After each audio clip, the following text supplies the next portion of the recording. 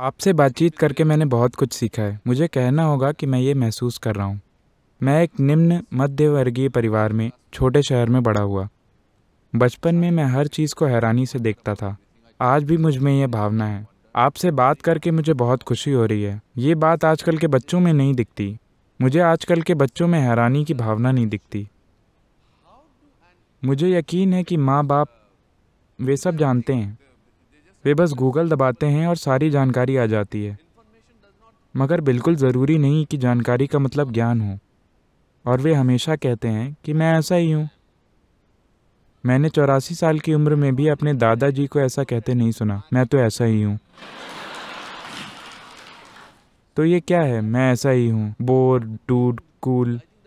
मेरे ख्याल से बुरा होना कूल है। अगर आप कहते हैं, मैं अच्छा आदमी हूँ मतलब आप बोरिंग हैं। अक्सर वे होते हैं।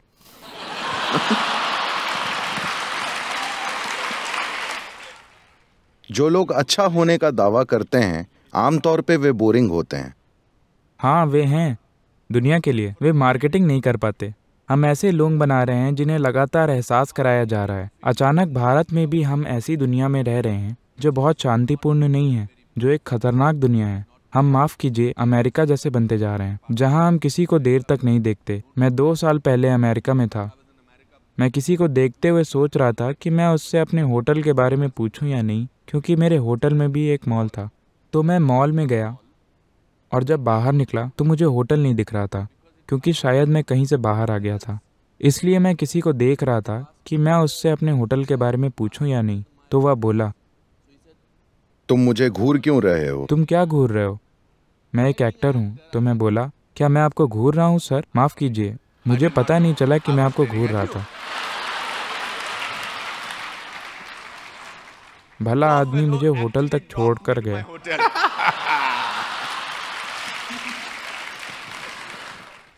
कहने का मतलब है कि आप कैसे आज के ज़माने में, आप कैसे कुछ हद तक मासूमियत, हैरानी को बरकरार रख सकते हैं। ऐसा कोई कैसे कर सकता है? देखिए आपने दो चीज़ों की बात की हैरानी और मासूमियत। ज़रूरी नहीं है कि हैरानी मासूमियत से आए। देखिए जैसे जब आप छोटे बच्चे थे तो आपने ज़रूर आसमान की ओर देखा होगा है ना? क्या आपने कभी तारे गिने हैं? शिमला में मैं ऐसा करता था वहाँ कुछ करने के लिए नहीं था। आपने कोशिश की आप कहाँ तक पहुँचे? अरे कुछ नहीं मैं सौ दो सौ से ऊपर नहीं जा पाता था। मैं छत पर बैठ जाता और गिनता रहता गिनता रहता।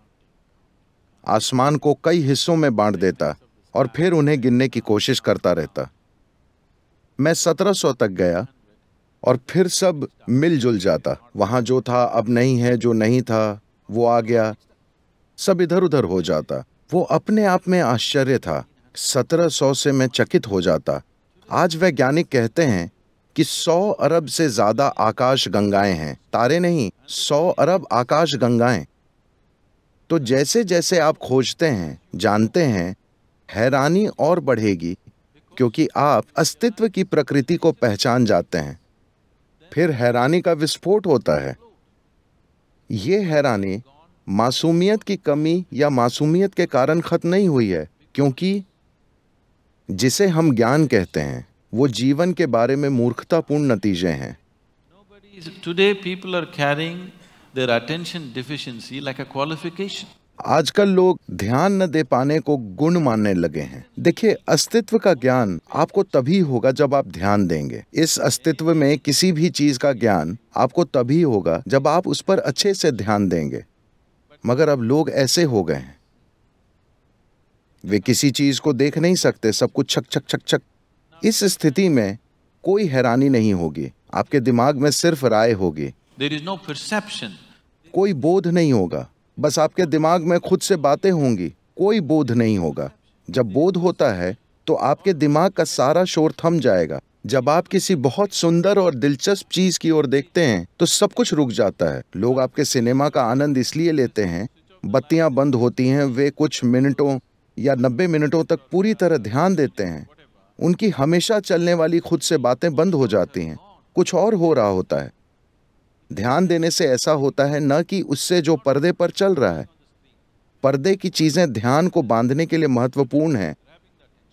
मगर लगातार ध्यान केंद्रित रखना ही सिनेमा के अनुभव को पैदा कर रहा है। तो ये ध्यान का शुरुआती रूप है। इसे धारणा कहते हैं। तो आज के ज़माने में उस ध्यान को कैसे कायम रखें? एक सरल चीज़ है। हर किसी को अपने लिए कुछ करना चाहिए।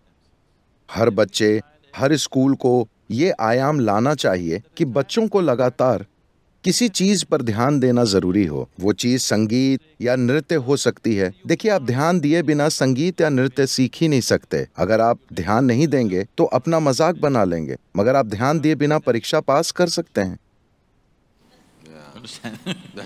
सबसे बढ़कर मैंने ये सरल चीज़ें देखी हैं। हमारा ईशा होम स्कूल है, जिसे बहुत अलग तरह से चलाया जाता है। एक दिन मैं असेंबली हॉल में गया छः साढ़े छह साल के बच्चे ऐसे ऐसे कर रहे थे। मैंने पूछा, ये बच्चे टूटे हुए लट्टुओं की तरह क्यों हैं? वे इस तरह क्यों हिल रहे हैं? फिर मैंने ये चीज़ शुरू की, बस रोज हर सुबह सारे गामा पाधा नीसा पंद्रह मिनट, हर किसी को गाना था। दो महीने बाद वहाँ जाने पर वे सब ऐसे बैठे थे। बस इतना करना है। अगर आप बस रात में उन्हें जंगल में चलने को कहें, एक रात अंधेरे में आप उन्हें चलाएँ, आप देखेंगे कि वे ऐसे हो जाएँगे।